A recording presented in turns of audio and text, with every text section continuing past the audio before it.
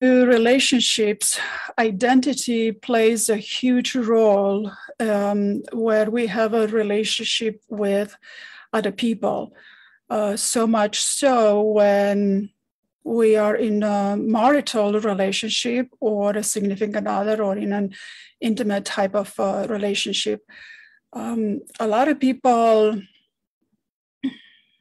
a lot of people associate identity with their either their t- title at work or um, they identify themselves as a mother or a father or um, or other things.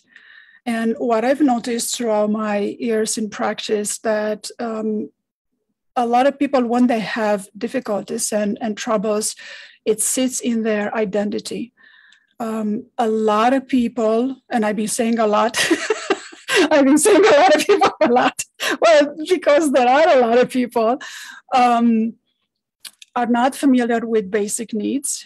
And when it comes to identity and relationships, um, they're not even aware that they have the option of addressing their needs uh, whether the relationship is the, with a significant other, a spouse, or a boss uh, uh, at work, or your neighbor. Uh, because when it comes to relationships, we have relationships with everything that surrounds us, not just with a significant other. And when it comes to self identity, when it comes to individual identity, in a relationship with others, uh, very few people are aware of, of the fact that I, this identity not only interact with each other, but they overlap. Like, for example, this is one person and this is another person. We overlap the identity, sometimes more, sometimes less, depends. And all of this in between, right here, I'm going to need a third hand all of this in between when it comes to uh, relationships it it becomes um, a new identity, uh, so to speak, is the relationships identity that has a purpose and a role. An individual has a purpose and a role in life uh, as, as part of life, as part of the fabric of life. Uh, but when in relationship, this this interaction over here in the middle becomes becomes um, has a role and a purpose and and and a driver. And Faith can enlighten us a little more on when it comes to relationships in marital familial and, and marital uh, relationships and i'll be back with identity the self identity and the relationships identity. Faith Thanks, Carmen. So you brought up um, really three different things, and all of them are important and they all play a part. So when it comes to identity, you were speaking in, for a moment about roles that people may see themselves as a husband or as a wife or a mother or a father. And when we see ourselves as a role, the role doesn't always um, let us know the traits do we want to be a protective father? Do we want to be a generous wife? What kind of person or what in what kind of way would a person want to do the role that they're in? So the way that I look at identity is not as a noun. I look at identity as a series of adjectives. And the great thing about the series of adjectives is that a person can reinvent who they need to be in that given role at any given time. So, a phrase that I use from one of my mentors is to adjust yourself to fit the situation that you're in. Maybe normally a person could be a kind, generous mother, but maybe a situation will come up where they need to become a protective and strict parent, something like that. So, by using adjectives rather than nouns, to create that sense of identity, what happens is it gives more it gives more adjustability and flexibility into a particular role so that a person doesn't become stuck or limited and instead is empowered to be whatever it is they need to be in the moment that they're in. you also brought up needs, and I think I need some water, um, which I don't have. So you brought up needs, and you're right that a lot of times the way our emotions work is we feel emotions when we get what we don't need. If someone yells at us and we don't need that, we'll feel an emotion about that. If um, if dinner's late and we don't need you know it late, we'll feel hunger. Now the screen's really messing around. And and that's triggering us. We don't want the hunger. So a lot of the way that the emotions actually work is they trigger off of what we don't want or what we don't need. And so a lot of times when people go to communicate about that they will often say what they don't want. You're late which is what I don't want, right? You're yelling at me, which is what I don't want.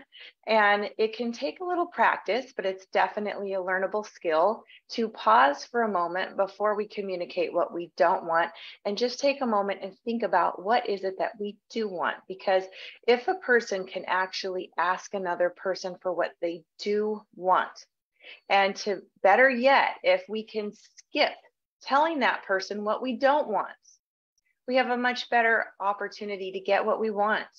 A lot of people, by saying what we don't want, make the other person feel like they just did something bad or wrong, and it can make them feel defensive. In fact, there's actually a method being taught that I don't use.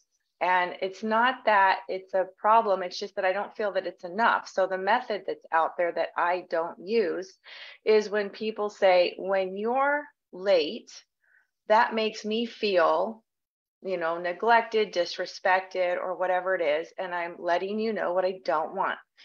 And and people are taught to use that method when you do this i feel that. And so what's missing for me in that part is the part what i do want. And that's the critical part in my book is to let the other person know I would like you to call me if you're going to be late. Would that be okay?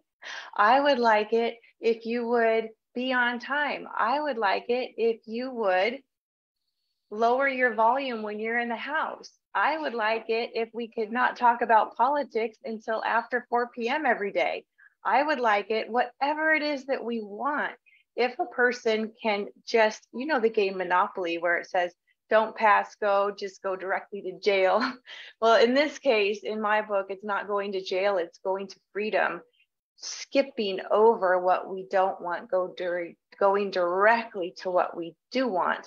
And that offers the other person a much easier opportunity to just say, okay, and do it. What do you think about that? Yes, you, you bring out a, very good points. Uh, what I like to add to that is that the reason people communicate what they don't like and what they don't want has to do with the way the nervous system works. Especially, I'm going to bring out again the amygdala.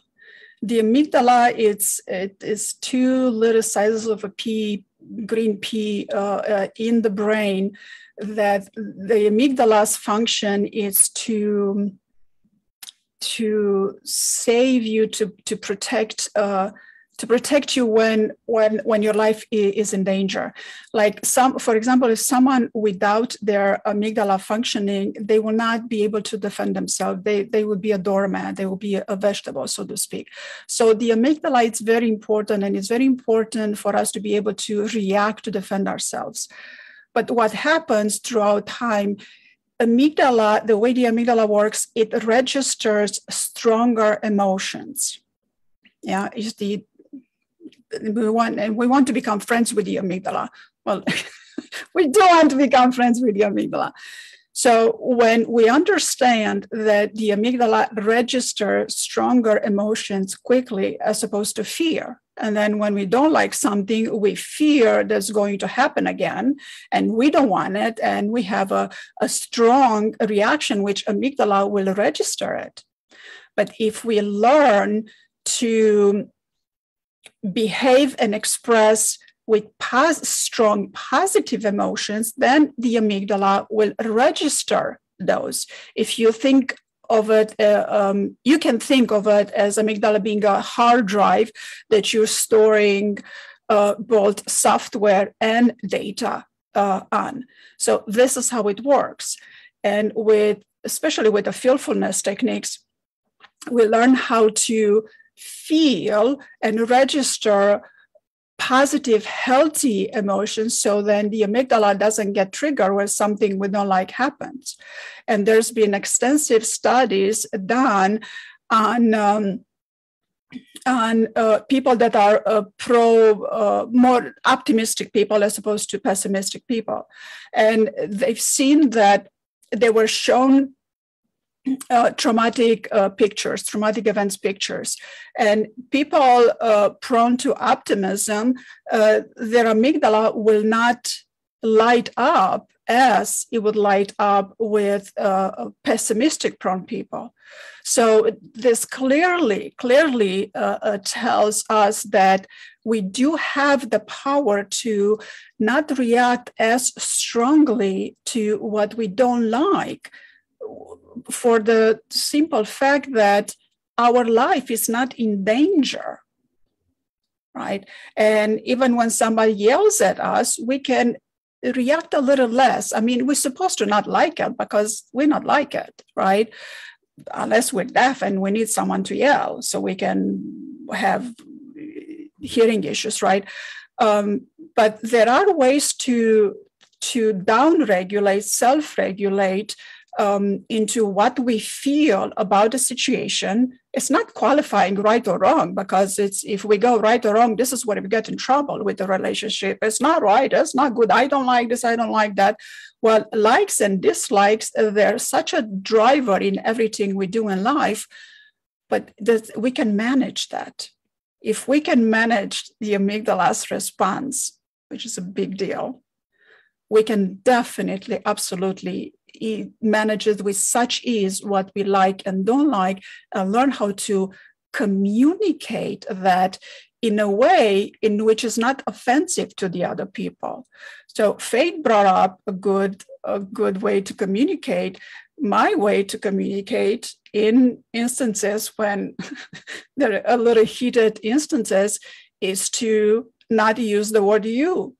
So you have you already have two ways in in way in which you communicate. When you do this, like Faith describes, when you do this, I feel this. And I would say, don't use the word you. So if you don't use the word you, what is left? I feel this when I am yelled at. I feel devalued when I am spoken like this. you can use your hands to, to further communicate. And if you repeat this many times, eventually this, this other people will, will get it. Because in a heated argument, the word you can turn in, into, into escalation. Faith? Absolutely. I'm so glad you brought that up. I is the responsible version of communication. The only person that I can speak about accurately is me right? I can make assumptions about you and I can make my own interpretations and form my own opinions about you. And a lot of people do that. And it can be tempting to do that. but the only person that I really can speak to with any amount of authority in the responsible responsible version is myself using the pronoun I. And absolutely that is the best pronoun to use. In fact, in my first book that I wrote, The Conflict Pattern Revealed, it talks about a pattern of communication that I named the gauntlet. And in the gauntlet, the sentences begin primarily with the word you. You're lazy, you're selfish, you're controlling, you just care about your job, you this, you that, and you always, you never. There are a list of things that people tend to say when they are upset or stressed and it can feel accurate in the moment. It can make a, a person can feel like well of course you are that um, and again you could be correct but you might not be. And when it comes to conflict resolution the sentences beginning with you they're es- they escalate they're inflammatory they cause a person to feel accused and they don't lead to a solution, which actually is what people want. And when you bring up the amygdala, one of the reasons the dynamic happens and that pattern happens is that under pressure, it's a natural instinct to want to get the pressure off of me. And if I'm feeling uncomfortable because I feel disrespected, which is my own right right to feel however i need to feel about whatever circumstance. If that feels uncomfortable it can be an unconscious thing to take the pressure off of me and throw it onto you because now it's your fault and you're to blame. And on some weird level that can get the pressure off of me. Um, but again, it's not functional, it's dysfunctional. And we can learn to downregulate the nervous system. You brought that up really well. The emergency personnel people walk into situations every single day that are triggering. And the paramedics, the firefighters, they see things that are very difficult on the nervous system. And yet, in those moments of pressure, they learn emotional fitness which is like any other kind of fitness that a person can learn through practice. They downregulate so that they can function in the moment. People who do martial arts or any kind of extreme sports, even the equestrian sports where, there, where there's a lot of natural adrenaline because of speeds, we can learn emotional fitness so that we can downregulate the nervous system so that we can respond instead of react and keeping that pronoun I in the forefront is an absolutely wonderful way to do it. So thank you for bringing that up. Yes, this, these are very good points. Um, what's very little talked about uh, when it comes to relationship is the relationships at work. And this relationship, they bring out a lot of a lot of stress and a lot of uh, difficulties. And when we are at work, uh, with the boss or with the clients, uh, we have we have a different identity. Uh, our identity it's not name and, and and your identity card or your passport. Uh, it's not limited to that. But at work, we are required to perform certain tasks. And when we are bombarded with, with a plate full uh, sometimes it's because the technology doesn't work well. Uh, the boss is not aware, and the boss keeps throwing you things on your plate, uh, and then you get upset with your boss. Um, and the language that you use at work, it's a completely different language that you use at home with, with your significant other. And at work, if we begin to understand that the boss has a boss, and the boss's boss is a boss, and the boss's boss, boss, boss is a boss. There's all kinds of bosses at work. Even if you are an entrepreneur, if you are a solopreneur, your boss would be your client. If if if you don't get along with your client, then it's you're not going to have the client. And if you have a boss, a manager, or a supervisor, or whatever, you have to get along with them and understanding that they have a long list of tasks to do, which includes your task that they need to monitor and they need to report on what's done and what's the progress um, they will automatically take pressure off of you. It's not that the boss is mean and doesn't understand the issues that you're going through. Uh, it's just that they have a job to do that they are held responsible for. And on the other aspect, when you have issues at work, the computer breaks down, the printer doesn't work, uh, the people are not getting back, you're waiting on other people to finish their task so you can finish your task then who do you go to? You go to your boss. So your boss is nice to you, but your boss will also be demanding of you. And so is the client. The client pays you to deliver. So the boss, you are being paid by your boss as boss and a lot of bosses, top of bosses that generate the, the, the and decide the payroll. So we are there to deliver something.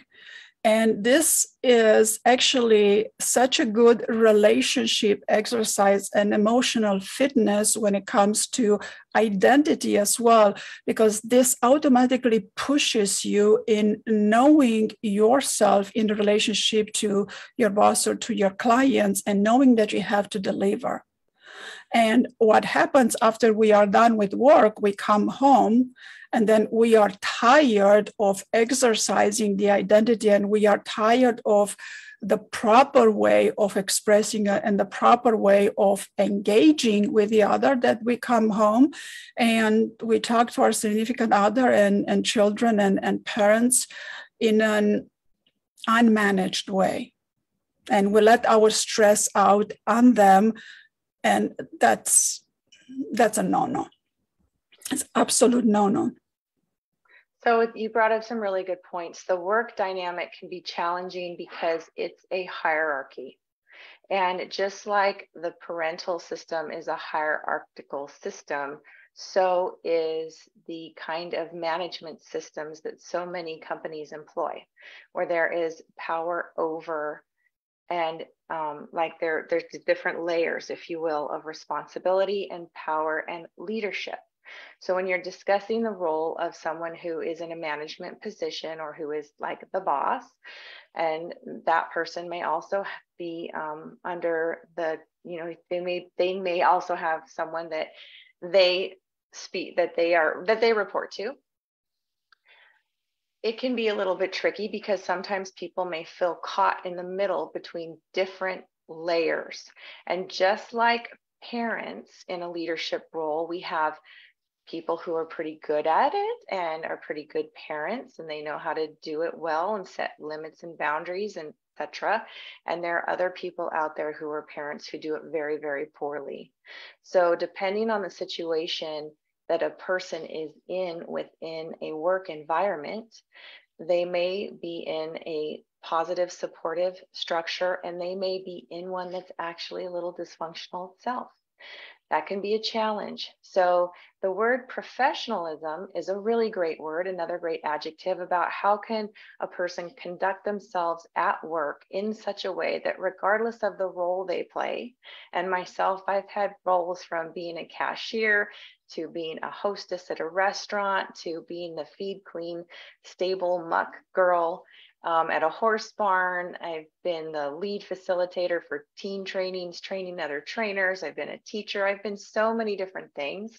And in every single position, regardless of where it fits in that hierarchy, if a person can compose themselves with a degree of professionalism as best they can, that that way of being will often serve you well. And when you talk about coming home, and I think that don't do this, right? But the phrase that the kind of the stereotype is come home and kick the dog because we're really mad at our boss, um, which I'm sure nobody would actually do that, but maybe come home and vent at our significant other or be short fused or that kind of thing. We can transfer the frustration we feel in one place to vent it somewhere else in a safer place.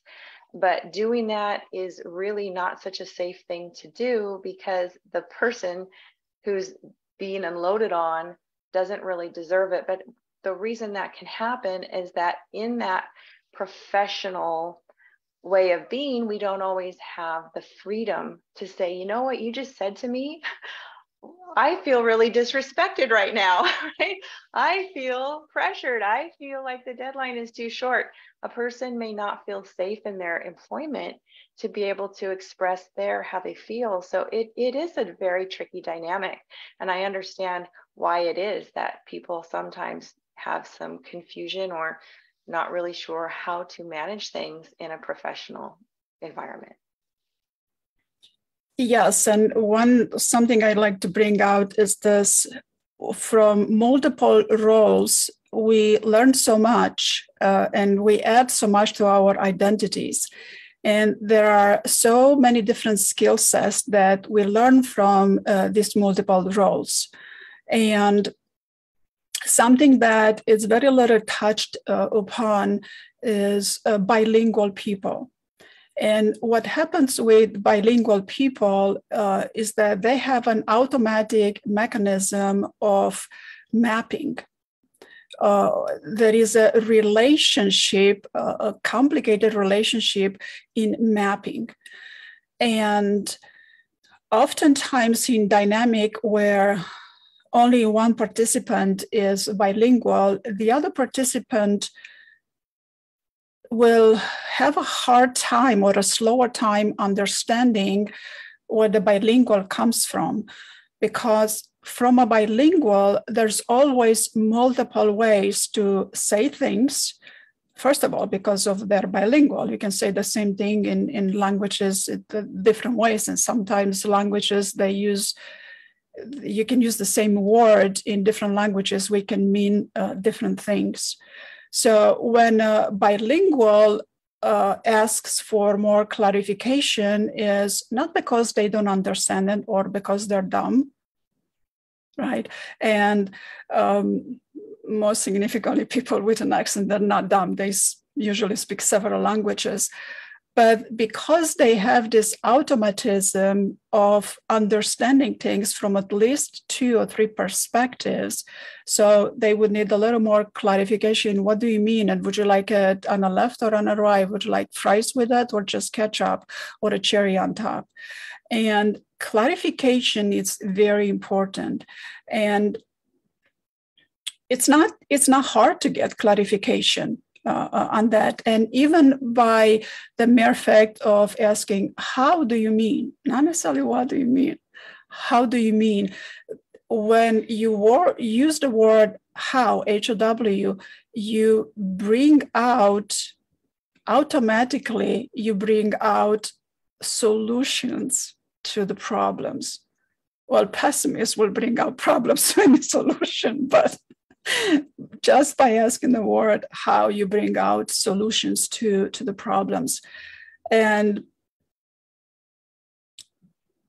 it's the fact that we are multi-skilled i like to bring all of the skills that I have from different areas of life, from different roles. I've had many different roles, just like Faith uh, uh, mentioned, she has a lot of different roles um, it's such a valuable um, it's so valuable to use within your identity within your relationship with others the way you communicate uh, and to not to to not feel lesser than or diminished by someone with a title that has a lot of letters after their after the name because that happens a lot.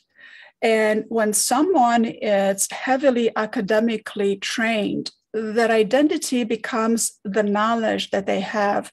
And because it's such a popular it's such a popular behavior to present themselves as I am this and this, and this is my academic achievement.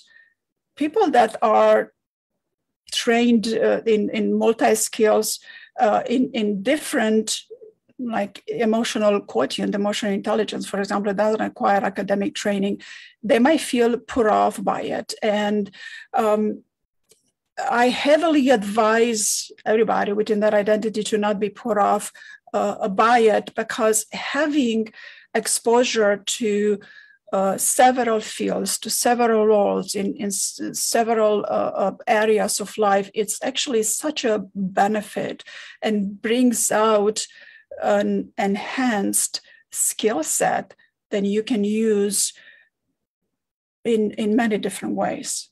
And if I go back to bilingual, bilinguals also need to understand that someone that's not bilingual, they don't have an automatism of multi multi-level multi-dimensionality and seeing things a different way because they haven't mapped their brain like that. There was no need for them to do this automatic mapping.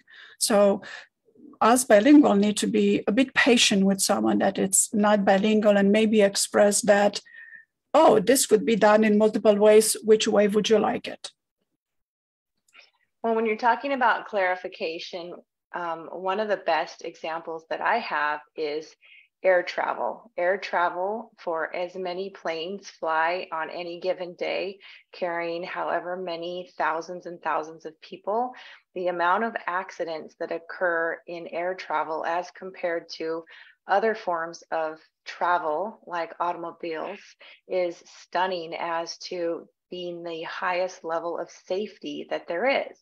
And it turns out that my husband is a professional international airline pilot. And one day in flying around with him, he also has a very small plane that he flies on his own. And I'm in the plane and he's talking to the person on the other end saying like um, left turn on final. And the other person uh, this isn't right. So if you're listening to this and you're cringing because i get the lingo wrong i'm not a pilot. He is. And the other person on the other end says okay turn left on fi- final and he's like turning left now on final. And and i'm thinking don't you know what you're doing?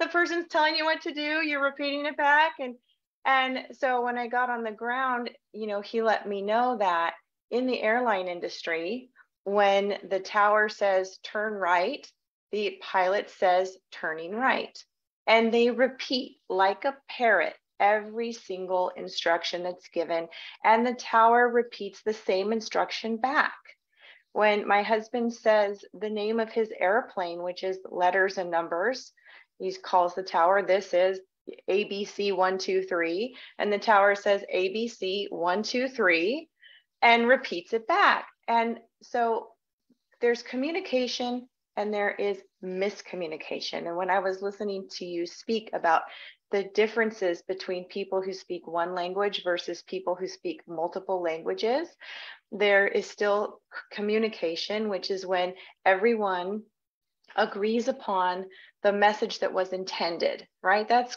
basically what communication is versus miscommunication. I may be intending to tell you that you look amazing today. And if if somehow that comes across that I, I didn't say that, then that's a miscommunication. And it's so easy for normal everyday people to have misunderstandings simply because of miscommunications. So that clarification it's when you say you know to not feel bad or stupid for having clarification i would encourage yes i agree with you completely and feel good about it. Feel like you are at the highest level. The airplane controllers the the airline controllers they are at the tip of the top. I think people give a lot of credit to pilots, but who actually directs the pilots? It's the air traffic controllers that are juggling multiple planes on multiple screens all over the place, and they do it exceptionally well. And how do they do that? They clarify every single communication that comes in so that misunderstandings are ideally brought to zero so that there are no issues that arise that could have been prevented. So it's a very high level thing to do. Yes, clarity is is definitely one of the most important thing, and uh, a lot of a lot of people don't have clarity over their identity, and sometimes they forget to to shift into the identity needed, whether at work or at home. Um, and feeling good about your identity and, and what needs to be done um, is definitely the, the best way to, to go about it. Assuming that you can do no wrong by always communicating with clarity, just like describing a, in, in a air traffic, uh, uh, repeating back what was said to you um, in a nice in a nice manner, not in a not in a sarcastic way. Because if you go to sarcasm, it's just you messed it all up. Um, that helps, but also having clarity over over what the emotions are communicating to you in the relationship and in not in an argument, but in, in engaging through that relationship, there's a constant internal communication to you. And sometimes you might need to just take a two or three minutes break if you clearly understand what your physical body is, is telling you. And even with that, there are, I'm teaching feelfulness techniques and observational skills, which help people better understand this internal communication um, that comes to them, but also there is a way to communicate back internally to you. That even if you feel a little frazzled in, in the moment, um, because of some sparkle that you've been stressed and a little sparkle uh, triggered you there are ways quickly to to shift into a specific state which it is generating state that help well helps with down regulating right away but helps with creating an environment in that relationship which brings clarity and togetherness and these are not small skills to, to go about, because when you learn to generate a state, you these are the most advanced skills one can learn. You learn how to generate a state that's appropriate for that circumstance. Like in an air traffic control, the, the state of clear communication it's absolutely needed right the air traffic controller you're right. Nobody nobody knows about them. Everybody praises the pilots for doing a good job, but a pilot cannot do a good job without the air traffic controller. Why? There are no clear roads up there in the air, right? At least down here on Earth, we have roads which are clearly defined, but up in the air, it's just air and clouds. and well, you would be surprised there actually are different routes, if you will, and different altitudes that people do fly at in order to, if you're heading one direction, you stay at a certain height so that the person going the other direction is at a different height. Um, which, by the way, when you do pass each other, it is a thrill. but what you don't want is this, right? But it, but you're right in that it's not the same as being on the same road together and to have the guidance and direction to know where you are in a, the space at any given time is exactly what needs to happen. You're exactly right that there's such a good metaphor of flying uh, underneath in the air where there are no clear uh, uh, road defines, but there are numbers to which you're at an altitude, at a speed, and when you fly underneath, it's uh, that's a trail. This is what we need to do in relationships. Sometimes someone is going to be on top and someone is going to be under it doesn't mean that someone is minimized. And oftentimes when we want to diffuse a situation you want to go under. And you're not going under with your identity. Your identity is not being diminished. All you do you go under the the the, the strong emotions. And when you do that you actually help uh, with the amygdala right? Parents do that all the time. Parents know how to do that. They learn quickly how to see, especially with young children, that the young child is just melting down. It's hot, or they're tired or hungry, and they're just upset. And parents get so good at soothing them and they're there, it'll be okay, or giving them a or you know giving themselves a little break but not responding at the same level as the upset child. The parent drops their own state down just like you described which is not a diminishment it's actually a strength. And what's so fun about this is that mirror neurons are real. Mirroring is real. Modeling is real. So as one person calms down and I believe the emergency workers, they know this really well. They come to you when you're in distress and they say, everything's going to be okay. Take a deep breath. And they come to you and bring you their calmness. And right away, if you've ever been the person needing help, that can bring such relief that your own nervous system and your begins to match a little bit closer to theirs yes, those mirror neurons, they're, they're quite something. And this is one one of the the, the chemical uh, responses that happen automatically uh, in a human body through generating a state.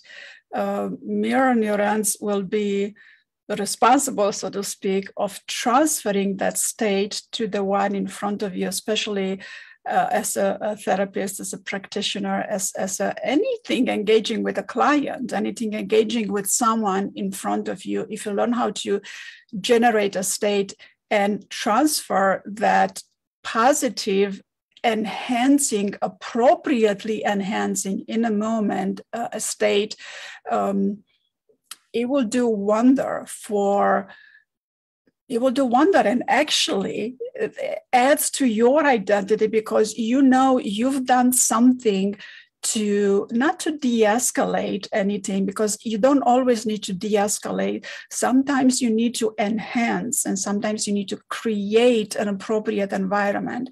And through generating states uh, once you learn how to generate a few states and, and you work with with certain uh, evocative words um, everything else becomes flawless and, and seamless and there are no arguments anymore. It's just togetherness and just smooth flow and uh, your identity is just completely full. Even someone even if someone were to insult you you would not take it as an insult. You would just take it okay let's just let's just move on to to what would be more fruitful out of this uh, particular uh, uh, engagement.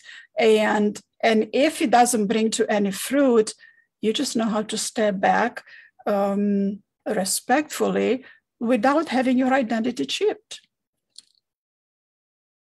Absolutely. Absolutely. So we've discussed so much today and it's been such a pleasure to talk about needs and identity and our nervous system and the amygdala, how to de escalate rather than escalate, how to respond rather than how to react.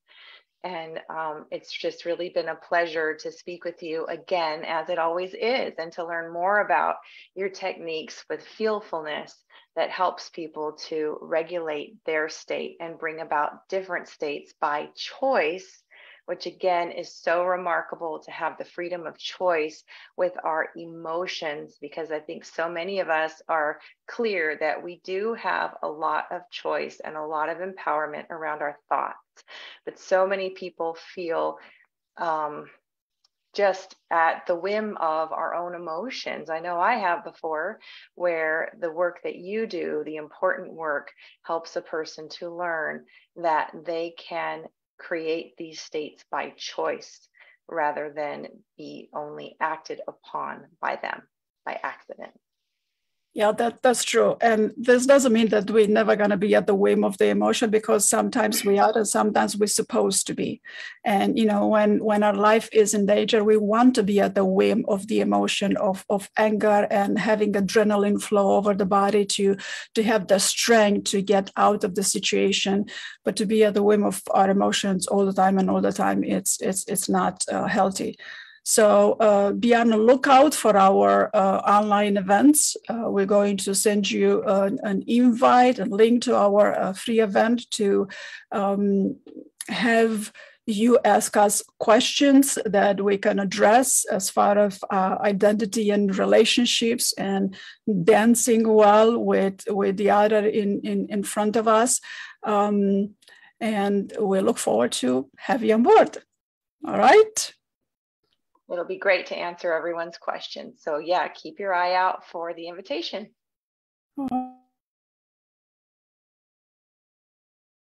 All right. Thank you, everybody. We'll see you next time.